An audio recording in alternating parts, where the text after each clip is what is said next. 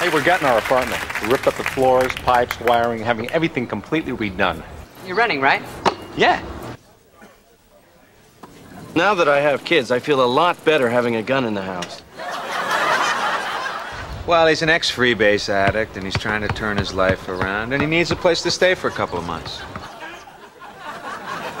I don't know the guy, but I've got two kidneys and he needs one. So I figured